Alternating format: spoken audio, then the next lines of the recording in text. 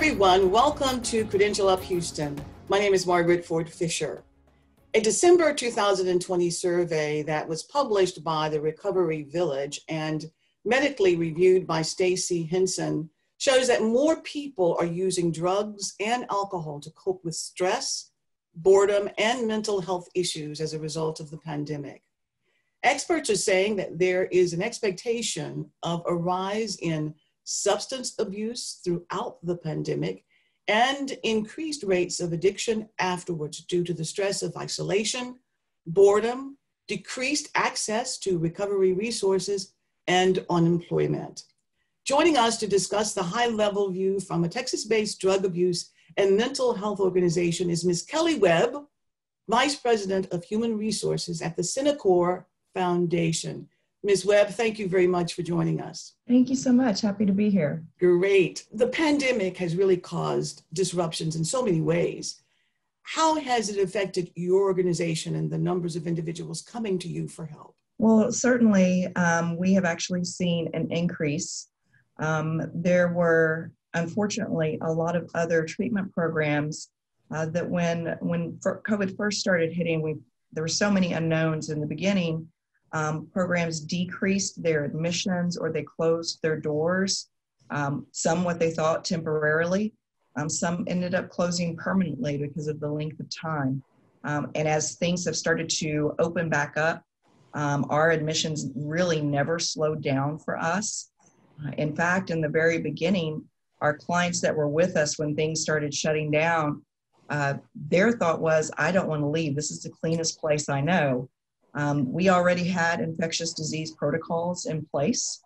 Uh, we cleaned several times a day in our facilities, and, and our goal was to increase those protocols, clean more frequently, and then we added additional screening protocols, uh, as well as taking temperature checks for our staff that were coming in every day. So we, we really had to pivot very quickly um, in order to keep our inpatient programs going. Our outpatient programs went from um, in-person meetings in groups to telehealth in 72 hours. Um, so really, um, you know, excited about what our IT team was able to do to pivot and get those IOP programs, outpatient programs, up and running in a very short time so we could continue to provide outpatient services. And that truly today is one of our fastest growing um, programs that we have is our outpatient due to the telehealth capability. Absolutely. And I noticed as well that you have outpatient services. Do you plan to open one here in Houston as well? We actually are. We uh, we are actually adding outpatient counselors at our corporate office. So for the very first time at our corporate office, we will be providing services from that office. Um, but we are adding an additional three counselors right now. We've just hired one, and we're adding two more. So I'd like to congratulate you because your company had already planned for potential disruptions and to be able to turn on a dime as you were, that's really quite commendable.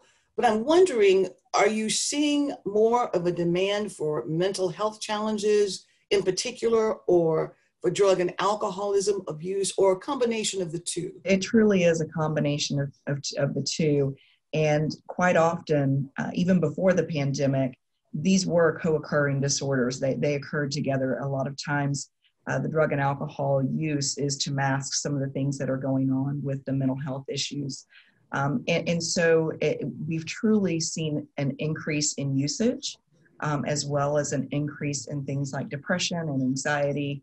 More and more of our clients are coming in with higher usage um, of their drug of choice or alcohol, as well as um, increased occurrence of their depression and anxiety. So, are you seeing more males, females, or adolescents than before? Currently, we have um, we actually have more males um, in our short stay programs. I think we have about a 65 to 45 percent split in our short stay detox programs. Um, in our long term programs, it's about 85 percent male, about 15 percent female. Um, and our long term programs are 18 to 24 months. Um, so they are inpatient for 18 to 24 months. So you truly, um, in order to commit that amount of time, you have probably been in your addiction a little bit longer to want to stay inpatient for 18 to 24 months. But during that time, we're able to assist them with, with getting their GED. Um, if they don't have their high school education, Uh, we assist them with getting employment. Uh, we help them save, and before they can graduate our long term program, they have to have a job, at least two months' savings, a vehicle, and a place to live. And only then can they graduate and go off and be successful. Our adolescent program is probably about the same mix of male to female, about 85% male and about 15% female. It's so interesting. I'd like to talk about the educational opportunities that are provided as well. And as I look at what you were saying earlier, you made reference to the different types of facilities that you have and the programs that you have, like the long term adult residential facilities, detoxification uh, facility, the short term adult residential outpatient services, and adolescent uh, residential also. So tell us about the eligibility for the prospective uh, clients to be admitted to one of those programs? We do offer a, what we call our full continuum of care. Uh, we like to say we are going to meet people where they are with whatever their need is, from, from inpatient to outpatient, um, regardless of the need, and, and regardless of the payer source as well. Uh, we're actually the largest contractor with the state for substance use services. And so those state funds that we have are to help those individuals who don't have resources to pay. Uh, we, we are CARF accredited, um, so we do take insurance, Medicaid, self-pay. Uh, we like to say we're going to meet the client where they are uh, with whatever payer source they may or may not have. So truly, um, I won't say it's regardless of what type of payer source they have, we are going to help them even if they don't how high is the recidivism rates once you determine that they are now fully rehabbed? What is the recidivism of those former clients? Have you data on that? Yes.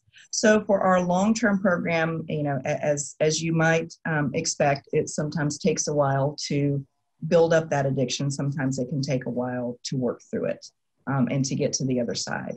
For our long-term programs, uh, if the person graduates, which again, that's that 18 to 24 months, uh, we do follow ups through five years. And at our five year follow ups, there's still an 87% success rate. Now, that's our long term program. Um, to get through our long term program, sometimes it may take people one, two, or even three times. Um, our, our dropout rate after the first 60 days um, in our long-term program is about 65 to, uh, our, our retention rate after 60 days is 65 to 70%. Um, so there is a higher dropout rate in that first 60 days. A lot of times people come in, they start feeling better. They think, I've got this. And so I'm going to go back out into the world again. Um, and, and unfortunately, we do have a recurrence of about 25 to 30% in our long term program that do come back. A lot of them do come back second time um, and are able to fully complete the program. They get they got just um, enough information the first time to know it's time to come back for the second time. Okay, well, we are going to take a break, and when we return, is what we will discuss how Cenikor staffs positions to serve their clients and to provide the resources that the clients need. So please stay with us.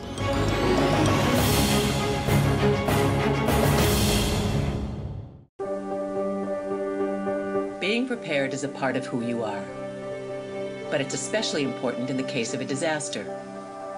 Be informed about possible emergencies in your area. Make a plan that covers where you'll go in an emergency. Build a kit with the things you need to survive. There's no one more capable of planning for your situation than you.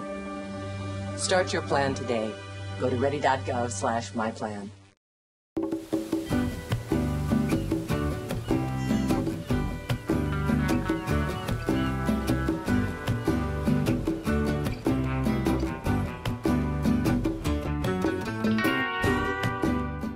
I know kids worry about a lot of things.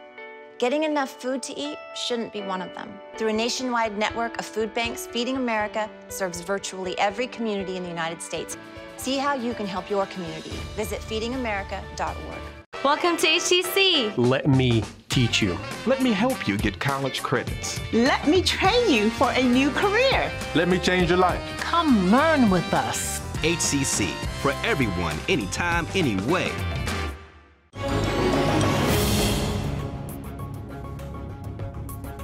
Welcome back to Credential Up Houston, our discussion with Ms. Kellee Webb, Vice President of Human Resources at Cenikor. Ms. Webb, thank you once again so much for joining us. This is very good information that I'm sure will be appealing to a number of our viewers. So we were talking earlier about the eligibility requirements and the funding support and so on, but I'm wondering about your staffing model and you referenced the rehab rate, recidivism rate. So obviously you have professionals there working with all of the clients in both your outpatient services that you render as well as your residential services. So, what is that staffing model that you use at your centers, and what are the factors that influence the staffing at the residential outpatient and detox facilities? I would say the main thing that we look for in staffing, obviously, is someone who has a passion for helping others. Um, it is um, unlike a hospital where people may not want to be there, but they know they need to be there, they know they need that surgery.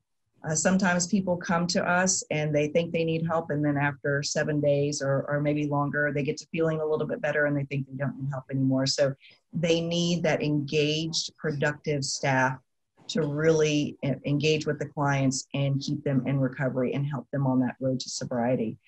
Um, for our staffing model, we are, of course, licensed by the state of Texas, and so there are certain staffing ratios that, that we uphold. Uh, we have licensed counselors in all of our programs. We have both substance use counselors, LCDCs, licensed chemical dependency counselors, um, interns, licensed professional counselors at LPCs, um, licensed social workers. Um, and then we also have staff such as our behavioral health technicians. Uh, we have our nursing staff in our detox programs. Um, and then we have our managerial staff to wrap support um, around all of our frontline staff as well. Um, and so for us with our staffing we we truly believe in growing from within. So we have a leadership development program. We have tuition reimbursement. We have ceu reimbursement. Um, our leadership development program uh, runs on a year-long program and it is specifically designed to each individual we want to know what their specific goals are what are your career goals and then we partner mentors with each of our staff members to help them get to that next level. Uh, we are very big on sharing articles and reading books. Um, we do strengths based leadership assessments for all of our team members in our leadership development program and help them focus on how to lead from their place of strength. Um, and, and I would say, well, I know of our executive team, uh, three of our executive members started out as interns and grew with with the foundation. And one of our executives actually started as a counselor in our Fort Worth facility. And so we are we are firm believers in growing from within. Um, we know the battle with addiction is, is not going to end anytime soon. It may it may change um, in some ways, but we are going to continue to grow to meet the needs in our communities. And so we need to develop those leaders to be able to do that. Congratulations. I mean, that cross training of staff and providing them with the opportunity to grow and to serve your organization, that's really commendable as well, primarily because they are familiar with the organization, with the clients, with the expectations, and then they're able to contribute even on a, a higher level to the organization. And I'm wondering about you were referencing earlier some of the staffing uh, requirements, the regulatory requirements, and so forth being funded by the state. But how I'm wondering to what degree are the environmental factors and the organizational factors that might influence the staffing uh, at the facilities? Well, as far as um, environmental, I would say from a cultural perspective, uh, we really thrive on service to our clients. Um, our, our internal motto for our, our um, staff is called, called We Serve. Um, it's our We Serve motto, and you'll see that throughout, throughout the facility. Um, and it really encourages going above and beyond for our clients and doing it in a positive way, uh, doing it where if, if if we provide a positive and work environment for our staff, then they're going to provide a positive, stable environment for our clients. And so that's the type of environment that we are trying to basically trying to set up every single day, in addition to what I spoke about earlier is just professional development and continued growth. I think the only way you can achieve stability with your staff and for the clients is to provide that career path so people want to stay with you and do those things like tuition reimbursement um, and CEUs where it's constantly learning, constantly working on additional skills and bringing your best self to work every day because that's what our clients deserve. Um, and so it really, at the end of the day, it all comes back to the clients. From an HR perspective, for me, it's all about our staff and our team and what we're trying to do for them. Of course, it is. And I'm wondering too about some of the positions that are hard to fill, mm-hmm. Perhaps with the cross training or with the in house training of your personnel that you still might not be able to get the personnel that you need for some of those jobs that are really in high demand. So I'm wondering if you have positions that are open now that are really critical that you can just reach out to the general community to say, this is what we have that's open and we are recruiting broadly to get the qualified talent to support the clients in your organization? Certainly, nurses, especially in the middle of a pandemic.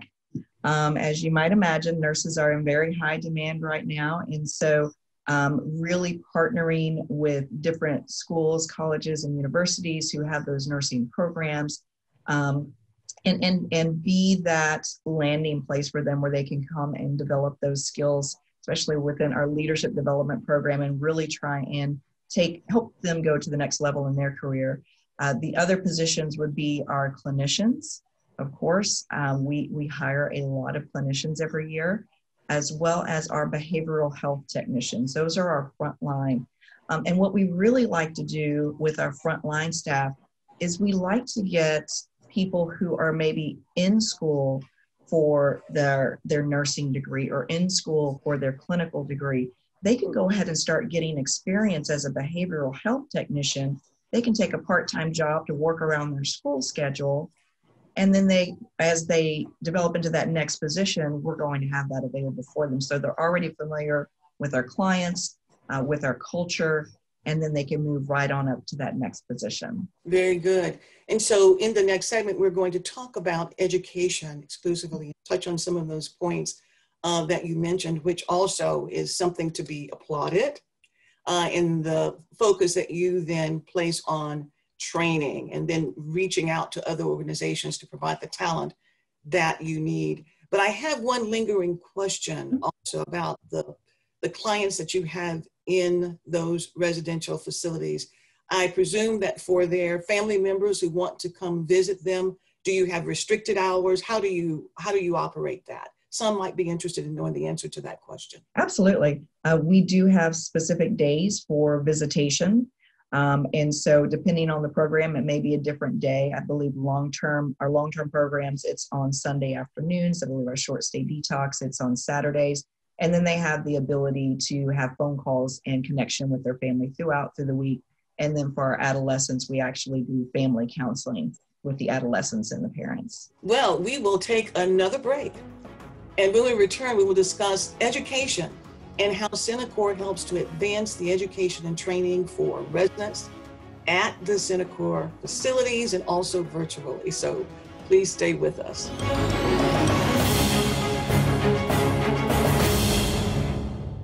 Today I'm going to talk to you about physics. Come on in, girls. Let's go. This is the first rocket to get humans to Mars. Really tall. I'm a rocket structural engineer, designing and building parts of the rocket. You are the generation that will be stepping foot on Mars. Do I have a group of astronauts on my hands? Yes. You can become a rocket scientist or whatever else you want to be. Roll over. Chance high five. All right. When you adopt a shelter pet, you discover all the things that make them unique. And your mother and.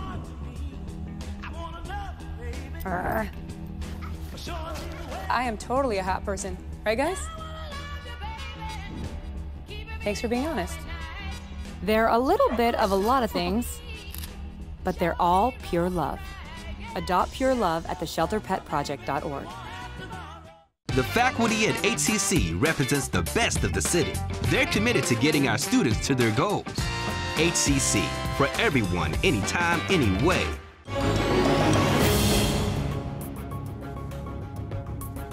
Welcome back to Credential Up Houston. We are continuing our discussion with Ms. Kellee Webb, Vice President of Human Resources at Cenikor. So, Ms. Webb, this is really a very, very informative conversation for us to have to talk about Cenikor, all of the services that you render for persons who are recovering or seeking to recover from mental health challenges as well as from drug and alcohol abuse. And so, as we focus on the education, not just of your clients, but also of your personnel, you made reference to all of the many options that you make available with continuing education for your employees. Some of them, I presume, also who want to work toward a certificate or a degree at a community college or a university, they can do that. But I'd like to begin by talking about the adolescents what is available for the adolescents in the long-term residential facilities? So for our adolescents, we actually do a variety of things. We take them out and tour um, colleges and universities so they see what the next level of education will be like and have them meet with some of the professors. Uh, we, what we also do is we have career day and we bring different people in different levels of professionals and technicians and actually host a career day for our adolescents. And then we also we teach responsibility within the facility keeping up with their area uh, the importance of cleanliness and understanding accountability. Accountability is a very um, big term for us in the adolescent program. Um, and you would be amazed how the adolescents um, some days they don't like the structure, but ultimately they gravitate towards it because they know it means safety. It means safety and security for them.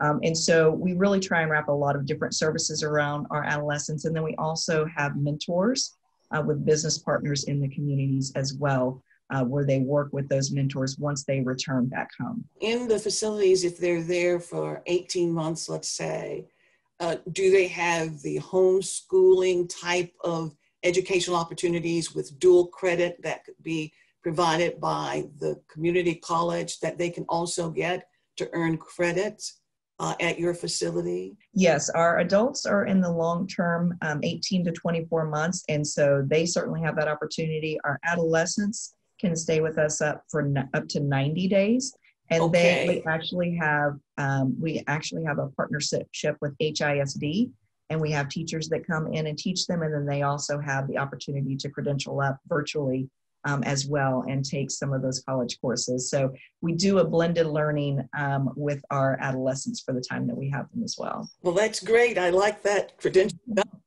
aspect yes. of it because that's really critically important for all of us. So thank you so much for that. And then with your adults you made reference to the various levels of training. Are you looking for individuals who have certificates primarily or degrees, associate degrees and baccalaureate degrees? All of the above.